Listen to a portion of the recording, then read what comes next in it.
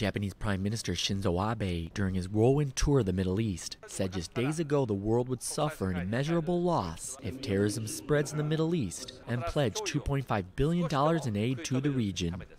But now the terrorism of the Middle East is affecting Japan personally as the Islamic State militant group recently released a video of a black clad militant brandishing a knife as in previous IS videos and holding two Japanese hostages. During a press conference while visiting Israel, Abe demanded the immediate release of the hostages.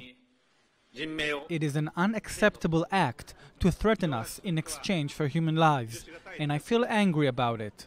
I strongly urge them to immediately release the hostages without harming them. The Islamic State captor threatened to kill Kenji Goto and Haruna Yukawa unless Tokyo pays a $200 million ransom within 72 hours.